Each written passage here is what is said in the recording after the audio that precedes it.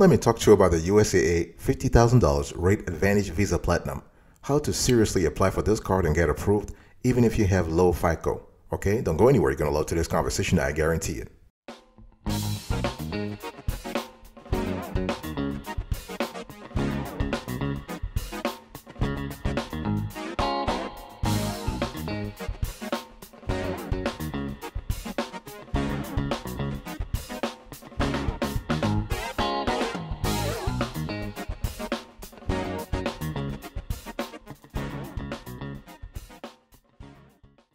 Welcome back, folks, to another edition of the Awesome S'witty Kiwi Show. How are you today? I hope you are doing fantastic. I'm doing marvelous, if you were to ask me. If you are doing as great and blessed as I am, go grab a cup of coffee or tea or vodka and let's roll.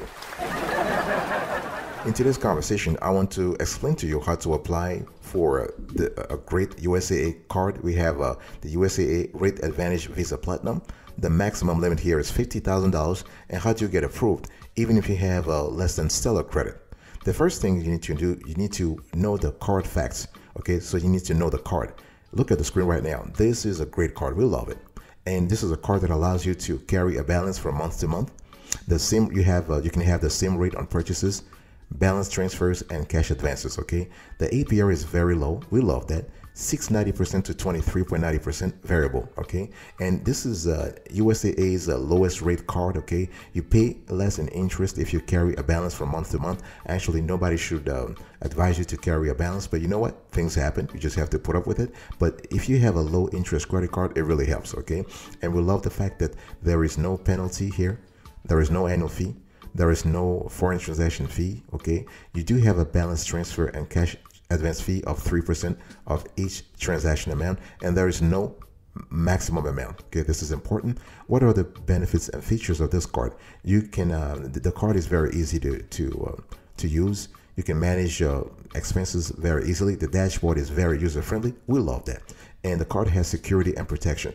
So from uh, secure logons to zero liability for unauthorized transactions, okay?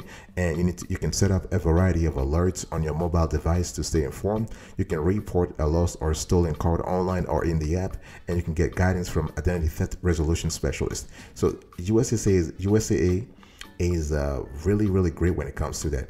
And there are also travel benefits, okay? You have auto rental coverage, you have travel accident insurance trip cancellation and interruption coverage. You have baggage delay and reimbursement. In terms of support and service, you can access USAA customer service rep, uh, reps 24 7. You can take advantage of extended warranty protection on U.S. manufacturers' warranties. You can use concierge services for help with reservations, event tickets, and shopping. And your card, you can actually add your card to your phone for fast mobile payments or checkouts. In terms of uh, the the credit range here, you can be approved for $3,000 all the way to $50,000. In terms of FICO score, they want you to have at least 670 to 850. But there are cases when you can be approved for, for more money, even if you have a, a lower credit score. Speaking about credit score, this is the second thing you need to do you need to check your credit score.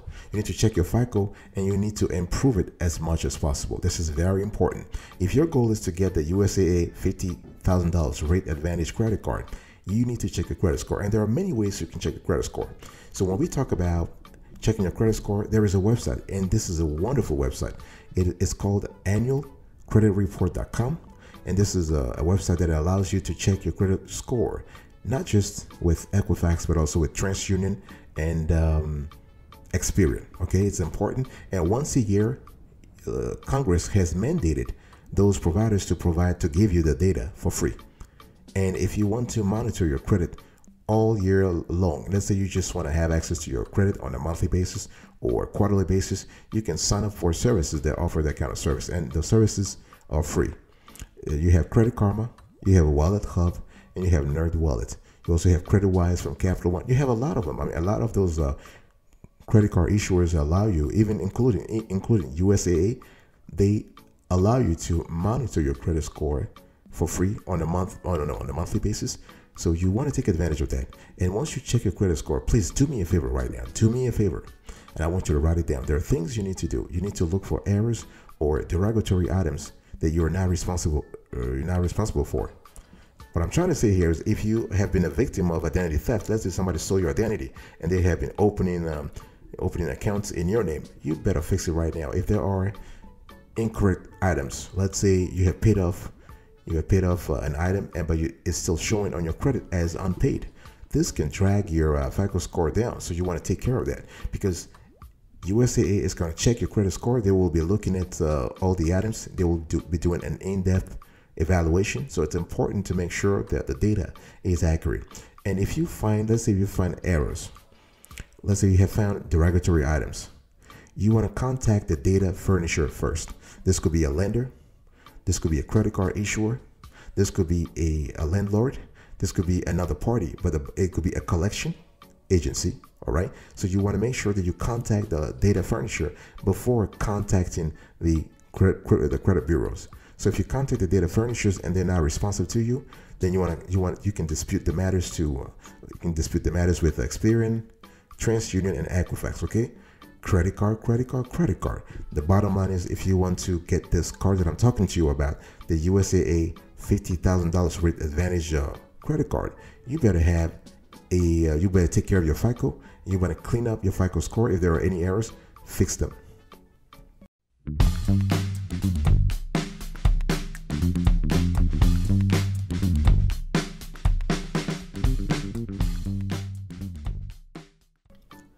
Let us talk about eligibility, folks.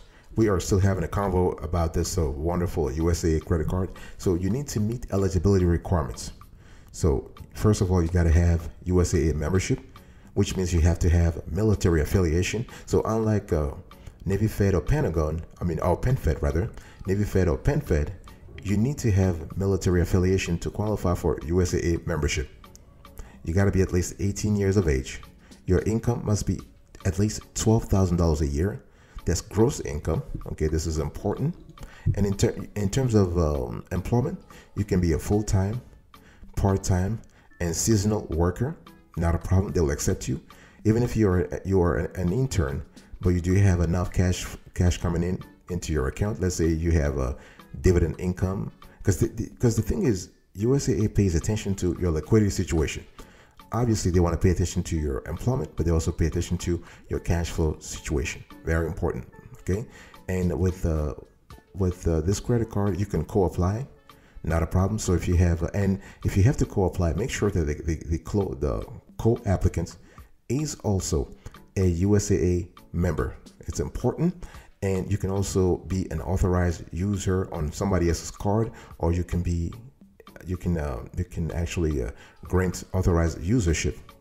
I don't even know if that's uh, such a word, but you can allow somebody else to be an authorized user on your card. But make sure that anybody you, you apply for, anybody that you uh, add to your card as authorized user must be a USAA member as well. Okay, this is important. So the bottom line here is that when we speak about money, money, money, remember that with uh, USAA, the main point is as soon as you have eligibility, as soon as you become a member, make sure that you can demonstrate liquidity, a healthy liquidity situation.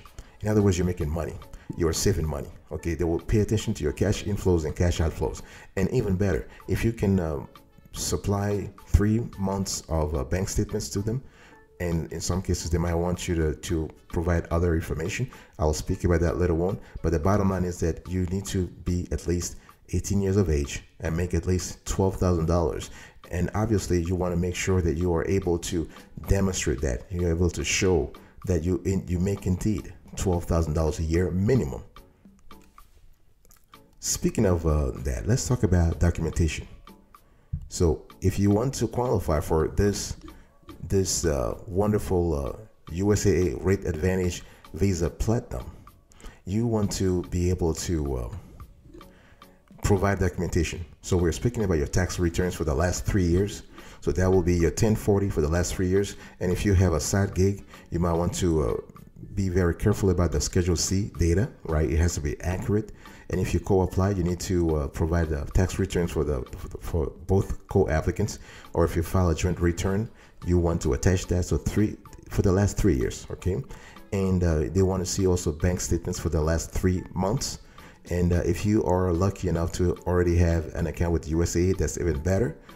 If you have an account with them with direct deposit, that's even better. Okay, but uh, they want to see bank statements.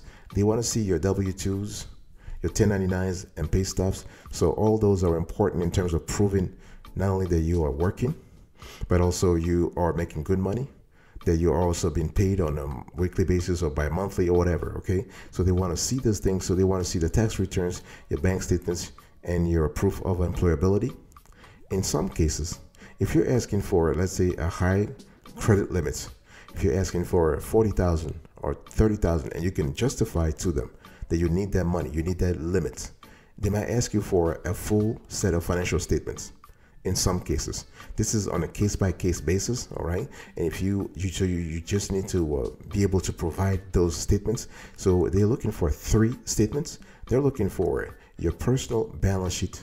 So this is a a report that shows your assets, liabilities, and net worth.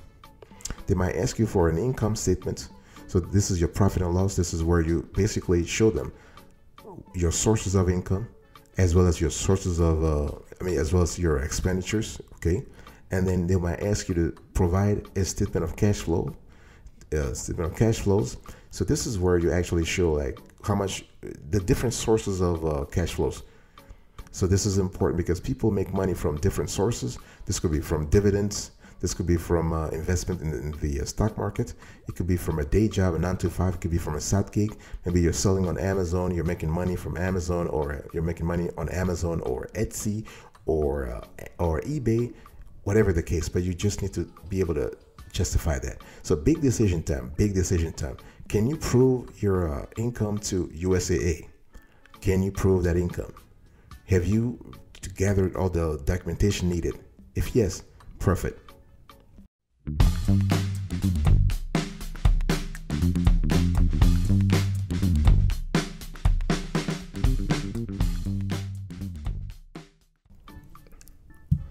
If you want to be approved for a high limit with USAA this card, you basically need to think about your DTI.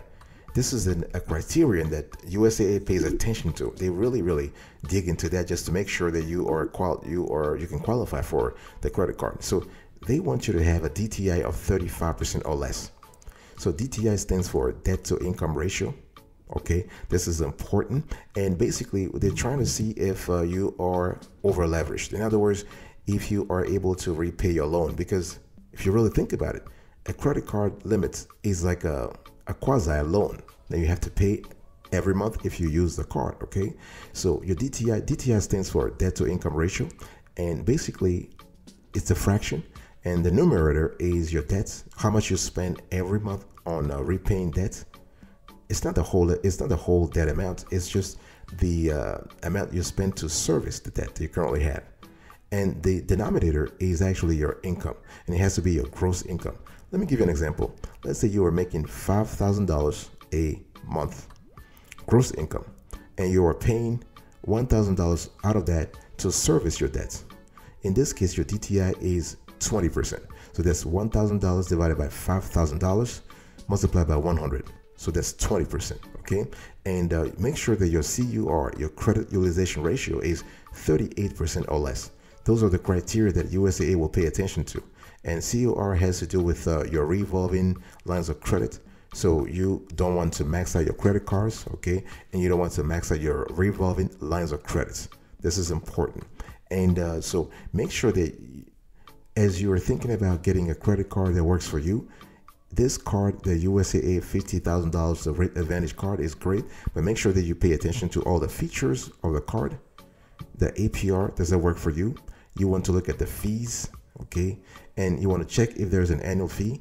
The card does not have an annual fee but depending on the the, the applicants and where you're applying from you might have other fees so be very careful here okay? And you can have more than one credit card with uh, usaa not a problem. So if you already have a, a credit card with the uh, institution and are looking for a second credit card as long as your um, your financial situation allows it you can certainly be, be approved. This is not a problem it's all about financial responsibility. It's all about quality. Okay, it's not about quantity. You can get two or three credit cards from uh, USAA.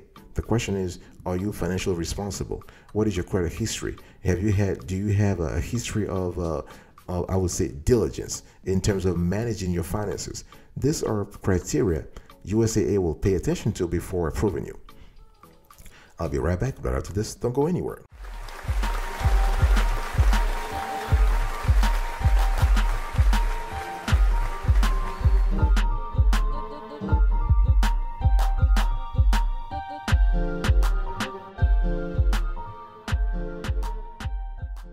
Welcome back, folks, to another session of the Awesome S'witty Kiwi Show. I'm still explaining to you how to get a high limit USAA Rate Advantage credit card, and even if you have a less than stellar credit, okay? And you need to bank with the institution. Let's talk about USAA banking, okay? Remember that membership is mandatory. This is very important. This is this is not a credit union per se, but this is uh, this is an institution that wants to do business with people who have affiliation with the military. This is important. So you need to contact, if you qualify for a membership, you want to contact USAA and start the process. This is important. And it's important also because membership earns you more on USAA products. Remember, USAA is a financial behemoth. They have uh, interest in insurance, in uh, banking, in uh, investments, in retirement planning, all that kind of stuff.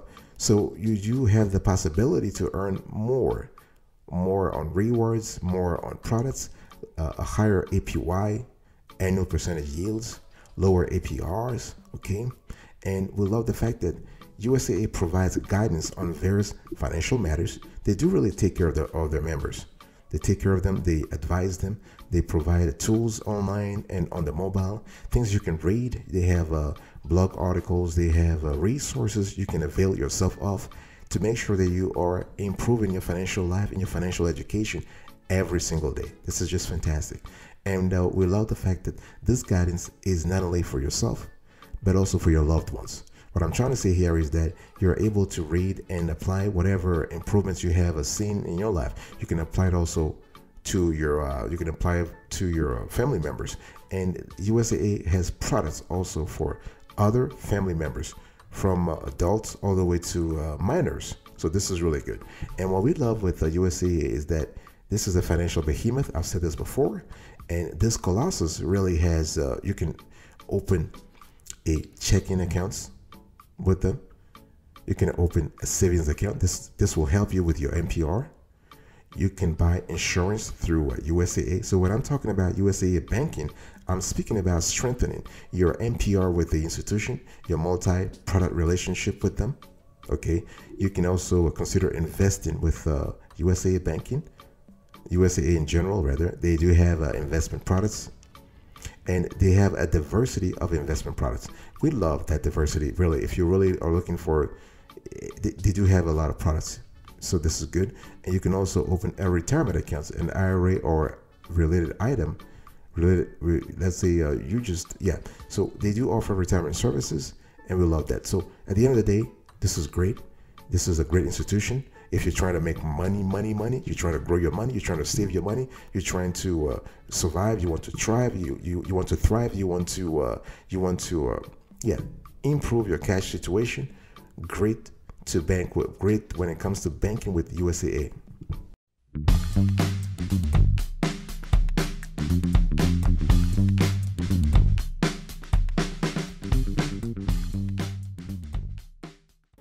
So let's talk about the application process. That's the last part, folks. So we have been talking about the $50,000 USAA Rate Advantage Visa Platinum, how to seriously apply for this card and get approved, okay? Even if you have less than stellar credit, you need to apply. So when we talk about application, you want to apply at a branch. I know people love applying for credit cards online, and we love doing that too. But if you're looking for a high credit limit, unless you have stellar credit, you want to talk to someone before you apply. That way, you have a chance to ask all the questions. You have a chance to uh, provide the documentation to uh, know how the process works, and have yeah, you really want to have all your answers, uh, all your questions answered. Okay, this is important. So you want to apply at a branch if you're lucky enough to live in the vicinity of a brick and mortar branch. You want to go there. You want to make an appointment. You want to talk to someone, and you want to have a limit in mind. So let's say you are looking for $35,000. You want a $25,000, a $30,000 limit. Why?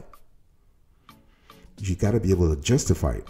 because they're just not going to give you a $35,000 limit if you're just like, yeah, you know, I just want a 35000 No, no, no. You need to back it up. Are you planning a large purchase? Are you making enough money? Have you received a raise at work? Talk to me about the, the, the reasons why you might qualify for it, or talk to me about the reasons why you want to have a higher limit. Okay, if given a lower limit or not so good terms and conditions, not a problem. Don't don't be like desperate. Don't panic. You just want to wait for six months and then ask for an increase because your financial responsibility is going to reward you. Okay, they, they will be looking at your accounts and seeing, oh, okay, this person is great. You know, they've been doing a lot of they've been doing a lot of uh, improvements. They've been um, you've been paying their bills on time, so they will take care of you. They analyze accounts all the time, and you might want to add a co-signer to boost your chances of approval. Okay, this is a great possibility. This could be your partner, your domestic partner, or it could be a friend, a relative, whatever. Or you can become an authorized user on somebody else's card. This is also a possibility. Okay, this is an option here because people believe that, you know, if I do not apply myself, I'm never going to get the card. No, you can start by being on somebody else's card and then build credit history actually uh, use their credit their good credit to uh, qualify. And once you do that after a while you can apply on your own. So keep making on-time payments and you will get approved either the first time or the second time or the third time. It's all about financial responsibility Thank you so much for your attention, folks. I really appreciate it. So, I was talking to you today about the $50,000 USAA Rate Advantage card, how to apply seriously for this card and get approved. First, you need to know the credit card facts. Number two, know your credit score. Number three, you want to understand eligibility requirements. Number four, you want to prepare the documentation. Number five, you want to you want to take care of your DTI, your debt to income ratio. Number six, establish a strong MPR with uh, USAA. Number seven, you want to apply smartly. Thank you so much for your attention. I'll speak to you another time, but until then, remember, stay marvelous.